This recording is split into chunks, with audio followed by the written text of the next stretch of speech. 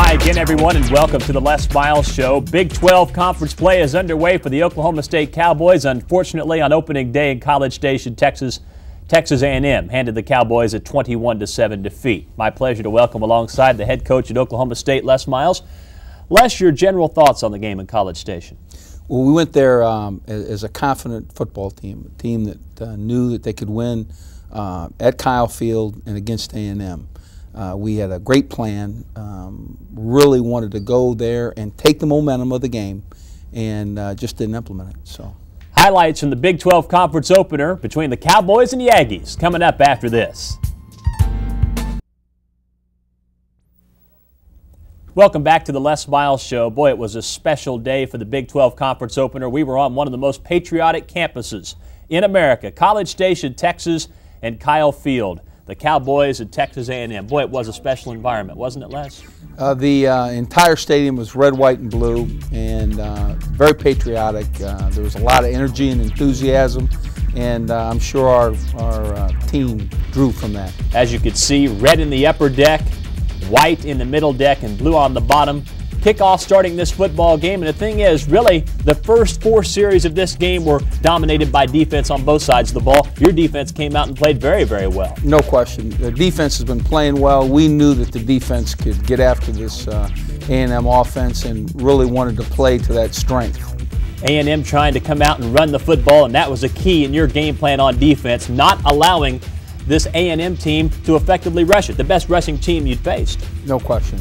The, uh, if, if, you look at um, uh, the athleticism of our defense, uh, chasing it down, uh, that's a, a, real strong aspect um, to our club. So immediately, three plays and out for Texas A&M, and your team gets pretty good field position for its first opportunity on offense from the 42. We would have enjoyed a fast start on offense here.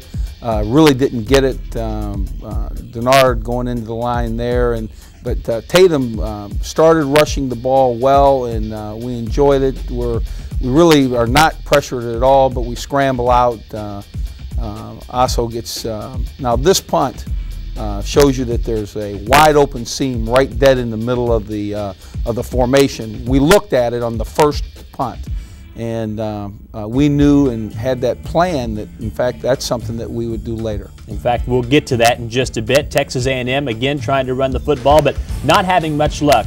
Dwayne levels, levels makes man. makes a great play and uh, he uh, he he's playing stronger and stronger every game so. And bill clay your defensive coordinator doing a good job of having the right guys in the right place huh? No question more than 30 years coaching experience for the Oklahoma State defensive coordinator and the Cowboy defense, setting the tone early in this contest. A&M trying to go to the air and not having much luck there either. In fact, this turns out to be an intentional grounding call. The Cowboys get the ball right back. Boy, your defense played so well early in this game. Huh? No question. The uh, and and they'll continue to do so, and we will uh, um, we'll get this club headed in the right direction. Another opportunity for the Cowboys on offense. But again, defense was a story here. Pogi just lost his footing there. Yeah, absolutely. She really not pressured significantly, and this into the boundary was a difficult uh, uh, pitch, but should give us an opportunity to get a first down. If we continue on the corner here, uh, there'll be an opportunity at a throw, and, and we had good protection. Here's the this is the punt. fake punt. Now, the, the, the, last play that you saw was a wide open center, and he could have run for uh, 30 yards for that matter. Obviously, we get nine, and um, uh, Brooks makes a great play, and now we give them great field position, which we didn't want to do. We came in with the idea that we would take the momentum at that point with the fake punt. And uh, we practiced it all week, felt really comfortable with it, and then now they go for it on a fourth and one and get a nice breakout and really leads to their continued drive. We didn't think that they could kick a field goal from there, and that also played into the thoughts of whether or not we fake. Dwayne Goins with the nice reception and run there. Lots of yardage after the catch. That's the strength of the A&M receivers, and they take the lead, cashing in the opportunity. Now, that gave the defense a short field, and we understand that. That's not something we're going to do often. Fact, Rashaun Woods on a nice reception on the perimeter, and then hits Rashaun in the hands. And I, and I promise you, if, if there's a, a, stronger competitor on our team, uh, it's uh, Rashaun Woods. He'll not drop many balls. Cowboys on offense late in the first quarter. Pogi hit, actually injured on that play, Coach. Well, there he got a clean shot uh, off the left tackle, and, and that's a problem for us. Now, it, we thought he was injured pretty significantly, and uh, apparently stung and came back in later. That means the true freshman Josh Fields would come into the game, and I'll tell you what, he looked pretty good, coach, at least in my opinion. Um, he makes a couple of really good throws, stands in the pocket as a young man with some poise, and uh, Josh has got a great future in front of him. I don't think there's any question. In fact, he led the Cowboys on a nice scoring opportunity drive. Tatum Bell, pretty play there. Yeah, the uh, uh, nice little pitch back to Tatum, and uh, he's got great speed and gives us an opportunity to get something. He scrambles here and, and really tries to make a really nice play. Tark was standing on the line. That's what they called. He could not re-enter the field, but Tark made a great play uh, in, in, as a try for the catch there. Bell breaking loose on this play. Looks like the Cowboys are going to have a first and goal. There was a holding penalty on the catch by Denard that was nullified, and then a holding call on this play as well. No question. Break. Yeah, we were more penalized in this game, and it, and it really ended up hurting us uh, as you look at it. This is a, a mishandled pitch and, uh, and maybe a little too stiff. In fact, the Cowboys had 11 penalties during this football game. The, the turnover, but your defense makes a big play. How about the interception by Terrence Robinson? No question. And, and the uh, our defense has been opportunistic and, is, and will continue to play strong. Here's another look. Not a bad throw by Farris, but Robinson right there to get the pick and give your team a first and goal from the 10. The Cowboys are able to take advantage of the scoring opportunity with maybe one of the more well executed plays of the season as Robinson lumbers down to the 10 and my goodness, a couple of guys make big blocks as we get a look at the first and goal play. It took Oklahoma State just one play to get to the end zone. Well, this is the formation that we were in when we went for fourth and one and felt like we were going to have some advantages. We knew the defense they were in, and uh, Tatum Bell gets a nice run. Uh, uh, there's a good block by Willie Young and uh, Michael Denard. Willie Young smashing the strong safety, and Michael Denard gets a cut in the corner, and it's a very clean uh, run for uh, Tatum. Nice job. The momentum goes back on Oklahoma State's side as the Cowboys even the game at seven. That play occurred midway through the second quarter, and the Cowboys, taking advantage of the turnover, are able to tie the game. And the point after attempt from Luke Phillips skies through the uprights. And the Cowboy faithful in College Station feel good. Halftime tied at seven. Despite some adversity, you're in good shape. And fortunate to be tied at seven, considering the fake that went awry. Um, we would have hoped at that point that we'd have been uh, ahead and uh, in charge. Special halftime festivities. Now here's something a bit unusual. You kicked off to begin the game, and then you kicked off to start the second half. Uh, we had a, um, a, an anxious youngster in the uh, at the at the captain that made the uh, a, a, wrong decision. Uh, A&M won the toss. They elected to defer our response should have been we take the ball and uh, what what had we won the toss we would have deferred as well. Uh, he said the the, uh, the captain said kick we'll kick. Great block here. Now we're in really good field position. Feel the momentum uh, with the opportunity to, to change right after this play. The uh, um, that Chris Massey is the one who Chris got Massey, a hand on it. Chris Massey's played a lot in this game, and, yep. and made a very significant play there.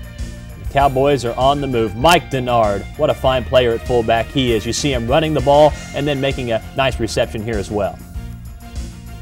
Yeah, Michael's going to is going to be a solid performer for us all year. We're, we're short yardage there. We um, go quarterback sneak and get it. We run a counter and come back in there and get good yardage. Tatum Bell's running hard at this point. Uh, same thing uh, off the right tackle. Third and one situation here. Nothing doing for Denard. If we'd have got a, uh, a, a, good right side there, we'd have been uh, uh, first and 10. The, fourth and one, we put Massey in the game because we wanted to bring an athlete, an, an element to this uh, play that, uh, that we need. And he'd, if he'd have ducked in underneath the offensive tackle, um, we'd had a first down. And boy, you felt the momentum change in College Station. Big pass interference call here goes the Aggies' way and gives them 15 yards. I didn't think that ball was catchable. I thought it was well out of bounds, and but uh, we really got uh, no explanation on the sideline. Reverse play here. Goins breaking loose, picking up first down yardage. Boy, it was amazing how quickly everything shifted in this football game. Really, an, an even football game at A&M quality team took advantage of the opportunity and took it down the field. Really, the only scoring drive they had during the afternoon. No question. Our defense playing really well, and uh, we have to make sure that we get it going on offense to take some heat off of them. Jamaar Taylor, the Notre Dame transfer at wide receiver for Texas A&M, takes the ball into the end zone, and A&M takes a lead. And then field position became such an issue for your football team throughout the second half, trying to come from behind. Yeah, we had some. Uh, we put the offensive line in a difficult position here too because we were throwing the ball, and uh, they had their ear spin back and were rushing. And then this is the block punt that uh, cost us seven points. Uh, we had a, um, a starter out of the lineup and the backup in, and uh, very difficult position for him to be in.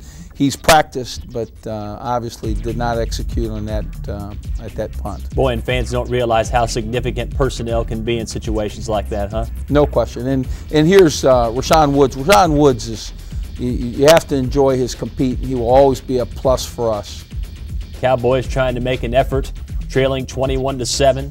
Good running play here by Tatum Bell. It was really enjoyable to see Tatum uh, mature because there was a, it was a physical game, and he played awfully well. Again, Rashaun off the left side, uh, and in the end of the game, and uh, um, R.C. Slocum is a quality coach and uh, runs a great program, and uh, we just would have enjoyed the victory there. You know, no question about that. And thinking back about the contest, and not to carry this too far, but my goodness, there in the third quarter, things shifted in a hurry. You had the fourth and one. If you convert that, you have all the momentum and a chance to go in for uh, a go-ahead score and still control the game. Instead, A&M gets the ball back, and the next thing you know, they're two touchdowns ahead. No question. The uh, um, had we gotten the fourth and one, felt like we had an advantage with Massey at quarterback as an athlete. Maybe he could have ducked up inside. He got stretched too far, and we, I mean, we knew the defense that was going to be played, and just felt like we had a great call.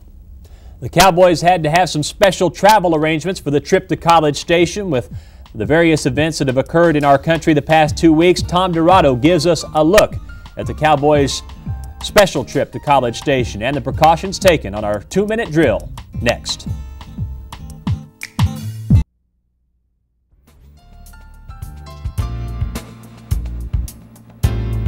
Welcome back. Our lives changed dramatically in the morning of September 11th. Things somehow will never be the same. The Cowboys made their first trip since the tragic events on the East Coast and experienced some of these changes firsthand. Tom Dirato explains on this week's Southwestern Bell two minute drill.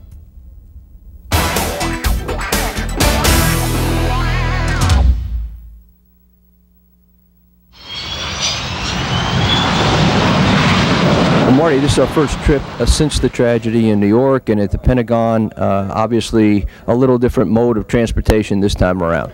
Yes, Tom, we are taking a few extra precautions. Uh, we just want to make sure people feel comfortable what we're doing and that, that we've done everything we can to make sure that we have a, a safe airplane to travel to College Station back on. I see behind us here just a little different situation as uh, bags are being sent to a central point, so to speak, and not just being picked up and taken to the plane as usual. Right, Tom. What we've done is that uh, a couple days ago we came out and visited with the uh, Stillwater Airport people along with the OSU police and came up with some ideas to how we could make people feel more comfortable with our travel. Uh, with the luggage, what we're doing is that we're having it tagged and checked to make sure that all the luggage has names on it, that we know who it is, and it'll be tagged. And much like at a regular airport, it will be just put aside and then the airport will take it uh, and put it on the airplane then. A little nervous, uh, a little different routine than usual, having to get our baggage checked and uh, wait over here a little longer, but uh, I think we'll be all right. We're ready for it. Well, Gary, this uh, first charter out for Oklahoma State uh, probably puts this whole thing in perspective for you as far as new airport security restrictions. Yes, it does, Tom. We uh, we are taking this serious, just like all the airports are, and we're we're using every manner that we can to uh, make sure that this flight is safe for the OSU folks. You know, we talked with Marty about the check-in policy and the bags being inspected. Kind of give us a synopsis of what, how it affects you as far as running this airport. What are some of the changes that we would see here today? Okay, uh, probably the first thing you're going to notice is there are there will be a presence of uniformed officers to help us control uh, where the people are and uh, we will have a physical perimeter around the aircraft itself that will be the secure area. Only people that have a security badge or uniformed officers uh, will be allowed in that, obviously the crew, uh, until we load. And, and then the loading procedure will uh, actually be a screening process that lets only people in that area with a boarding pass. We um, we're taking it serious and we want to make uh, every precaution that we can to uh, make it safe. I think people get caught up with the fact that the big airports have so many restrictions and so many of the things that are put into place as we speak, but uh, airports this size as well have a new set of rules to play by. That's right. That's right. Uh, and some of these are really self-imposed, uh, but uh, we take it as serious as uh, as uh, they do at the larger airports. Well, Chief, obviously there's a uh, law enforcement presence out here today. That's correct. We, we felt like we needed an increased law enforcement presence uh, just to make sure everything goes okay and, and, and, and in order to keep a secure, a secure perimeter around the airport and around the airplane. And I would assume plans are already in action and already in uh, moving ahead for the first home game that the Cowboys will have uh, since the tragedy. Exactly. We started uh, our preparations for the game that got canceled and so we have a lot of plans already laid. We're fine-tuning those for this coming game for our home game as well. And we've done some things with Champion Air to make sure we verified some things with them. Uh, so we feel very comfortable that um, you know we've done pretty much everything we can to make sure that we have a safe trip to College Station and back. We felt very um, good about uh, leaving from Stillwater Airport. Felt like the the uh, area was very secure, and uh, we're more than willing to uh, uh, go through this extra safety precautions. Felt the same when we landed in uh, uh, Texas at College Station, and we feel like that if things go as they have in the past in this one game, that security will not be an issue. We'll have some final thoughts with the coach when the Les Miles Show continues after this.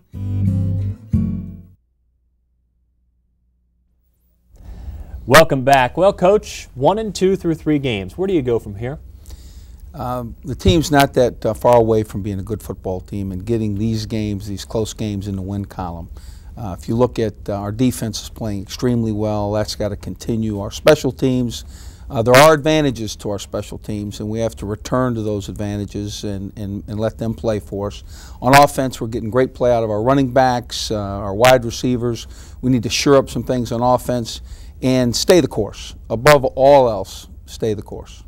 Let us give you a couple of reminders. First of all, next week, Northwestern State of Louisiana will be at Stillwater for the makeup game. That replaces a Northern Arizona contest. You can use your Northern Arizona tickets for that game. It will begin next Saturday at 7 o'clock. That's Northwestern State against the Cowboys at 7 o'clock next Saturday. Northwestern State, one of the better teams in 1AA. They knocked off TCU last week, and Northwestern State off to a 3 0 start. It could be a pretty good football game. Thanks for watching us today. We look forward to seeing you next week on The Les Miles Show.